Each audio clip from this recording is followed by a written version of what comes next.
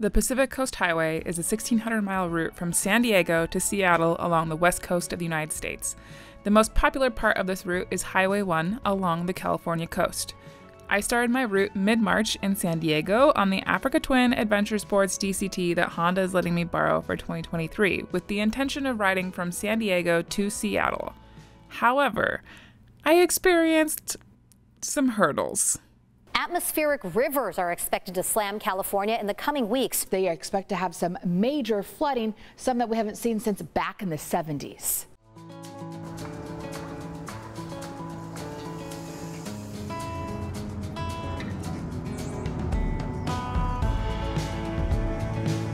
Hello, beautiful people. If you're new here, my name is Amanda Zito, and welcome to San Diego and the start of the Pacific Coast Highway. This is not uh, normally my venue, but I wanted to get to as close to the beginning of the Pacific Coast Highways as I could get, and now we are here, and now we're going to make our way north along 1 and 101, as close to the coast as we can get, anyway. Let's hit the road, shall we?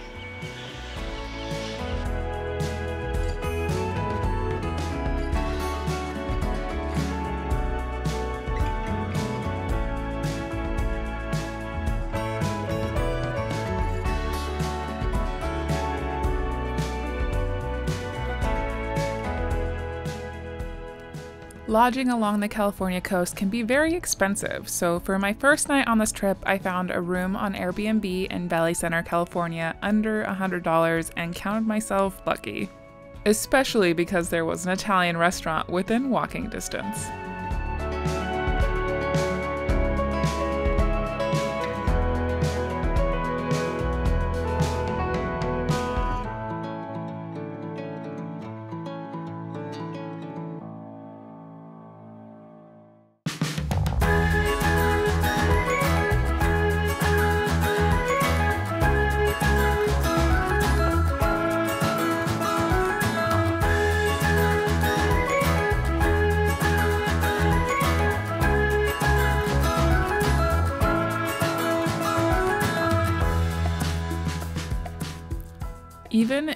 Warmer months, the coast is subject to mist and foggy weather. It usually forms in the morning and then slowly burns off as the day warms up.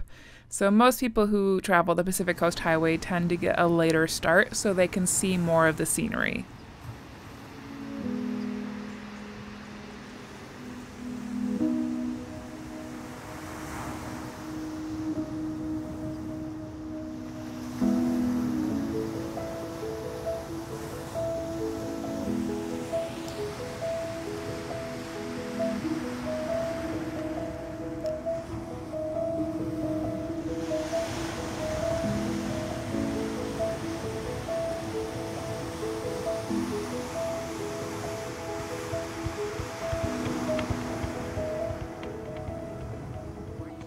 I spent a good amount of time watching these brown pelicans search for fish by flying low over the water. Then, when they spot potential food, they dive down and use their bill as a giant scoop to pick up fish and water. The water will drain out the sides of the bill's pouch, and the fish will be pushed to the back of the throat. Sometimes smaller birds will try to steal the fish right out of a pelican's mouth.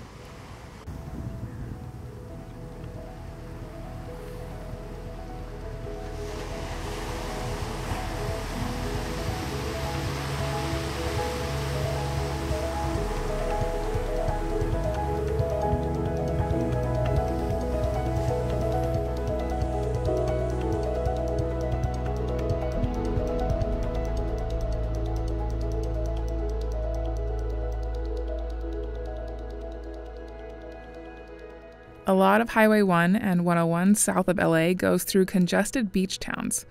Lane splitting in California is legal, but there isn't always space to filter when you are loaded with luggage. So I spent a good amount of time sitting in traffic, wishing I was already farther north.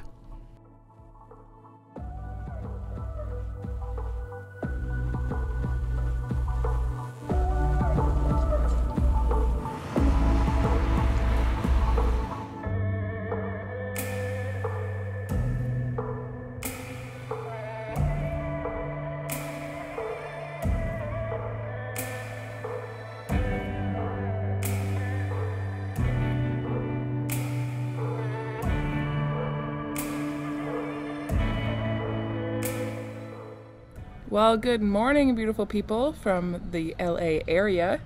The amazing Cindy let me stay with her last night, so I did not have to pay LA area prices, so that was lovely. And this morning we're headed to Honda America headquarters in Torrance, California, and uh, the Africa Twins is going to get some tender love and affection. and then, depending on how long that takes today, my goal is to get to Hearst San Simeon State Park tonight. We, we hope.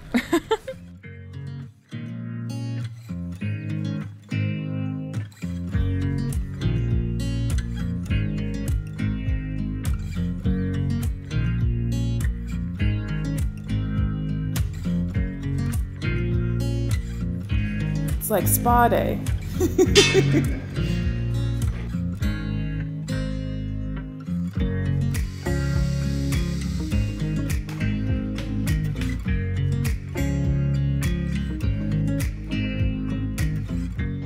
a giant nerd, so I was like, I get to go to the Honda Yeah, service yeah, area.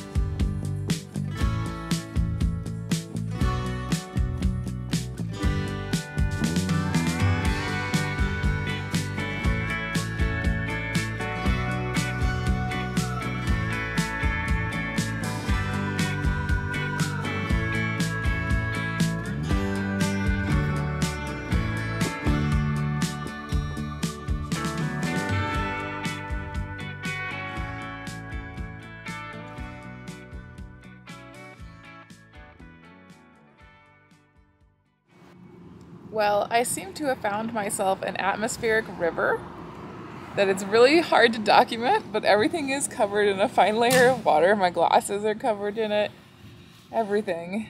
Um, and it's very foggy, so it's really, really difficult to see. And now it is dark, as you can see. Um, so I'm 30 minutes from the campsite that I reserved for the night, but I think it might be a better idea just to stop here in Morro Bay instead of meandering my way through a fog bank and an atmospheric river, I think that's just the smart thing to do. So I found myself a cheap hotel here in Morro Bay, and I'm gonna head that direction and um, I guess escape this um, as what I can only describe as an atmospheric river. That's all that I've got. That's the only words that I know how to describe it. Because wow, I'm under the awning and it's still, uh, yeah.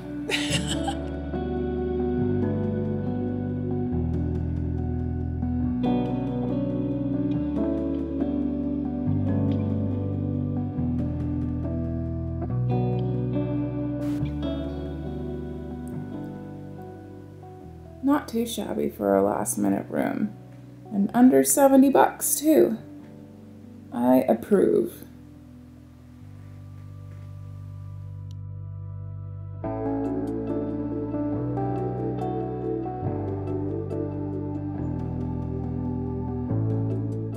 Morning, beautiful people from Morro Bay, California. A very, very rainy Morro Bay. And um, there are some flood warnings in the area that I'm supposed to go today. My goal was to get to Santa Cruz, where I booked a Hipcamp uh, for the night so that I would have a reasonably priced place to stay. Well, let's look at the map together, shall we? This is the Monterey area.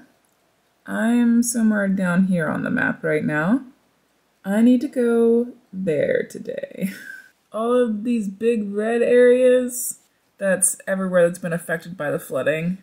This big section here on Highway 1 is totally closed, cannot go there. Um, which isn't a big deal because I was planning to hop between 1 and the 101, but um, uh, this is the 101. uh, today's gonna be interesting. Unfortunately, it is too late to cancel my Hipcamp reservation. They have a 48 hour in advance policy in order to cancel reservations. So So I'm gonna skip Pinnacles National Park today because one, it's gonna be raining everywhere I'm going today. I checked the weather, it's gonna be cold and raining everywhere that I'm gonna hit. And I don't really want to hike in the rain. And Pinnacles National Park is definitely a park that you kind of need to hike a little bit to appreciate. So I'm gonna save that for another trip when the weather is better and just head straight to Santa Cruz.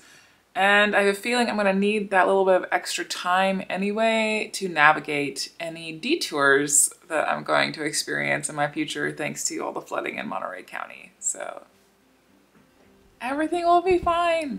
Everything will be fine.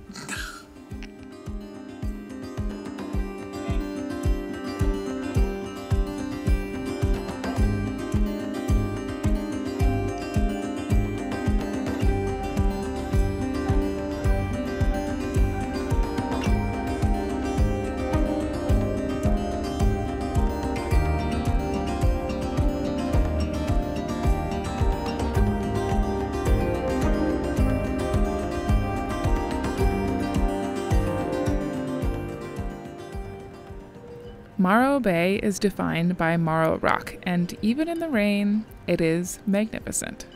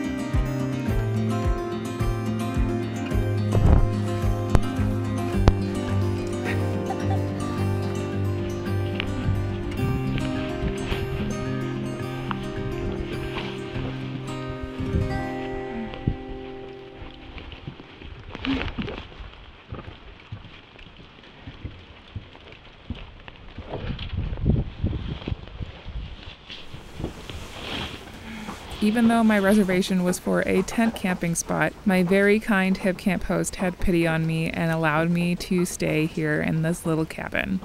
I was able to spend the afternoon cozied up with my laptop editing photos while my gear had a chance to dry out. I'll leave a link to this Hipcamp listing in the description along with a code to give you $10 off your next Hipcamp reservation.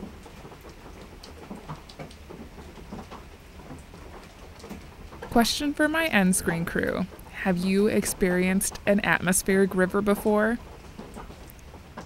In the next episode,